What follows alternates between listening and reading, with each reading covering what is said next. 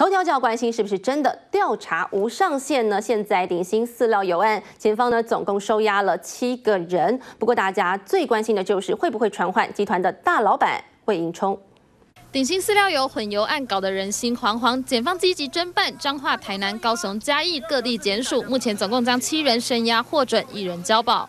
彰化地检署十一号声押鼎新屏保组长蔡俊勇、鼎新制油前总经理常梅峰以及进口饲料油的台商杨正义。法院十二号上午裁定三人羁押禁见。另外，嘉义地检署追查鼎新油品上游，十二号晚间永成负责人蔡正洲被裁定收押禁见。另一家鼎新上游油商九丰油脂公司负责人邱飞龙以二十万元交保，妹妹邱丽萍则是十三号凌晨羁押获准。高雄地检署追查正义油品来源，十二号晚间也对居中签。天线卖油给鼎新的前客林明忠神押获准，而台南地检署日前侦办卖油给鼎新的吴荣和，他也被裁定收押禁见。其中嘉义地检署十二号晚间搜索九丰油脂公司常务邱丽萍坦诚曾依顾客需求混油，再卖给新好及鼎新集团等。十三号凌晨嘉义地方法院裁定羁押获准。可是这个业者他要进口饲料用油，我们主要来查看他的饲料用油有没有流用到食用油。